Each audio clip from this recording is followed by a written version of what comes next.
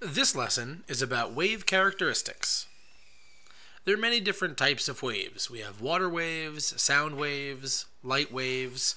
People make waves at a sporting event, and even zombies come in waves. But as far as we're concerned, a wave is a continual disturbance, oscillation, or vibration that transfers energy from one location to another. An oscillation is a regular variation in magnitude or position. So this is something moving up and down over and over again, or left and right over and over again, or something like that. This is very important to note. A wave transfers energy without transferring mass. If you have only a single oscillation, we call that a pulse. There are two main types of waves. The first is called mechanical waves. This is a wave that travels as an oscillation of a medium. Examples of mechanical waves are water and sound. Water waves are the oscillation of water molecules, and sound waves are the oscillation of air molecules. Mechanical waves cannot travel through a vacuum because they require something physical to be there oscillating in order for the energy to transfer. The other type of wave is electromagnetic waves.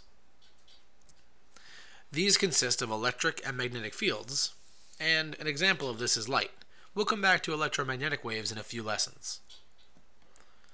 Looking only at mechanical waves, there are two other categories of wave. The first is a transverse wave. This is a wave in which the particles of the medium oscillate perpendicular to the motion of the wave. Here's a simple diagram that you could copy into your notes that shows us basically what a transverse wave looks like. In a transverse wave, the disturbance that makes up the wave is perpendicular to the direction in which the wave travels. The other type of mechanical wave is a longitudinal wave. This is a wave in which the particles of the medium oscillate parallel to the motion of a wave.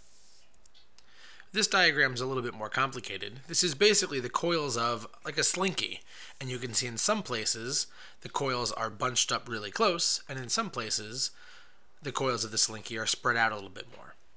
Try to copy something like that into your notes. It will be important for you to know that sound waves are longitudinal. In a longitudinal wave, the disturbance that makes up the wave is along the direction in which the wave travels.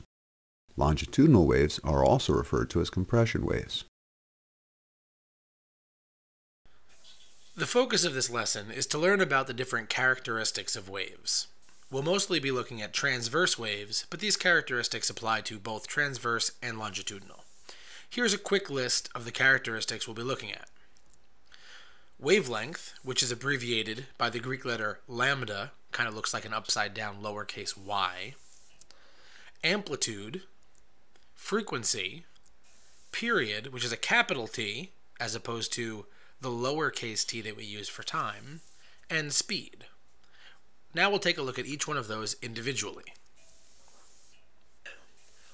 Before we go any further, let's introduce a couple of terms that will help us describe the different parts of a transverse wave.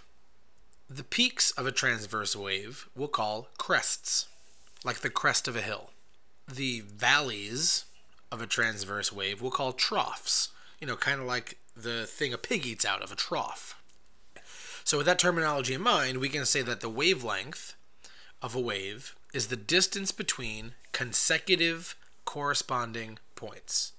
Wavelength, being a length, is measured in meters. So corresponding points are two points that match. They're identical points on neighboring oscillations in the wave. Right? That's what consecutive means, one right after another, so neighboring. There are literally an infinite number of places we could label or measure the wavelength. There are a few that kind of make the most sense. So here's one example. This is from the beginning of a crest on one oscillation to the beginning of the next crest. Another logical place to label or measure the wavelength is from the, the top of one crest to the top of the next crest. Those points are obviously corresponding to each other, they match, right? And there's no other crest in between. Likewise, we can measure from one trough to another trough, and really we can measure between any points that meet those criteria. So here's just a random one. So three quarters of a way through a trough to the next point that is three quarters of a way through a trough. Amplitude is basically the height of a wave, but we have to measure it very specifically. It's the distance from the middle of the wave, that dotted line, to the top of a crest or to the bottom of a trough. This means that we can measure the amplitude here, or we can measure the amplitude here. Really, the only other thing that you'll need to know about amplitude is that the energy of a mechanical wave is directly proportional to its amplitude. Okay, how about frequency? A really broad way we could define frequency is the number of occurrences of a repeating event per unit time. But don't write that. For us, we'll describe frequency as the number of complete wavelengths produced per second, or the number of oscillations per second. There's no equation for this on the reference table, but we could sort of write it in the form of an equation like this. F for frequency is equal to the number of wavelengths that you see in a picture or that are described to you. That's number of complete wavelengths or number of oscillations or number of crest trough pairs, however you want to think about it, divided by time. We have a new unit that goes along with frequency. It's called a hertz. Now, the abbreviation is capital H lowercase z, and H isn't a prefix. HZ is the abbreviation for hertz. And it basically means cycles per second.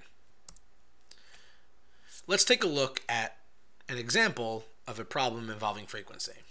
So here's Frank, and he's making waves on a rope by moving his arm up and down, which he does 20 times in 10 seconds. So in 10 seconds, he moves his arms up and down, that's an oscillation, 20 times. So we want to figure out what are the frequency of the waves that he's making. So frequency is the number of wavelengths that are created divided by time, and we can see from the description that he's creating 20 wavelengths, that's 20 oscillations, every 10 seconds. So we have 20 divided by 10 seconds. Notice the 20 doesn't have any units. We don't measure that, it's just we, we counted. We counted to 20. 20 divided by 10 seconds gives us a frequency of two oscillations per second is a way we could describe that and if we want to put our new unit on there which we do we can call that 2 hertz let's take a look at period Again, the very general definition we can write for period is that it's the interval of time between successive occurrences of a cyclic phenomenon. But again, don't write that. For us, period is the time for one complete wavelength to be produced. In other words, this is the time for one complete oscillation. Just like we did for frequency, we're going to write this in sort of an equation form like what we wrote for frequency, this is not in the reference table, but this is a really convenient way to think about period. So you take all the time that has passed while the waves were created and divide it by the number of wavelengths that were produced, or again, the number of oscillations. The unit for period is just second. Let's take a look at an example. So Kelly is floating on an inner tube in the ocean, and she notices that she bobs up and down six times every minute. So each time she bobs up and down, that's one complete oscillation, that's one wavelength. So we can figure out the period of the ocean waves that she's floating on if we do a little bit of math.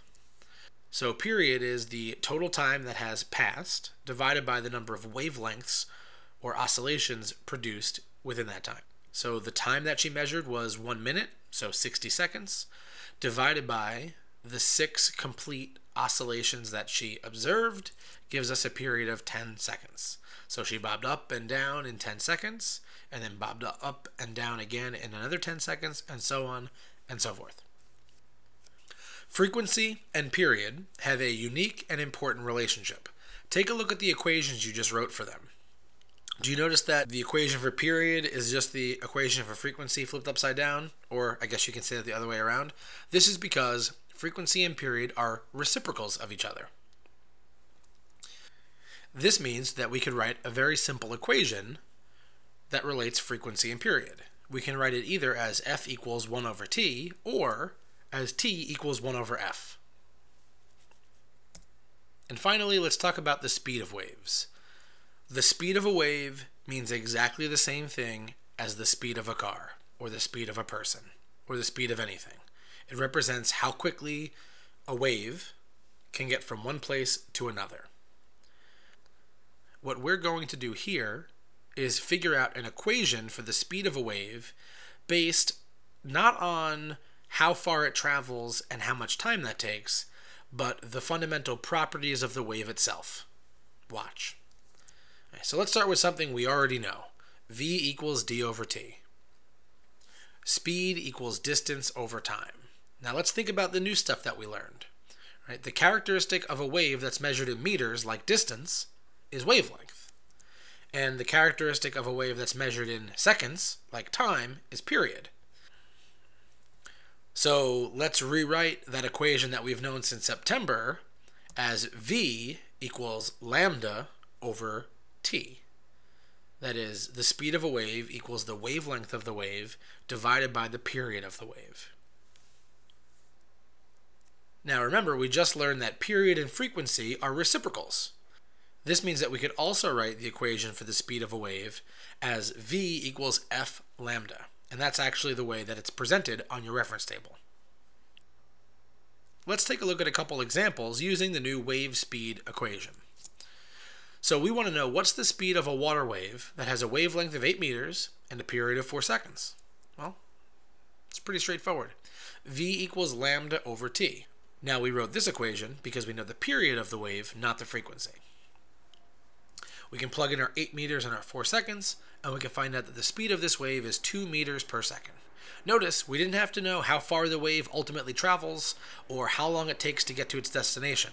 All we had to know were those two fundamental characteristics of the wave itself its wavelength and its period. All right, let's take a look at another example.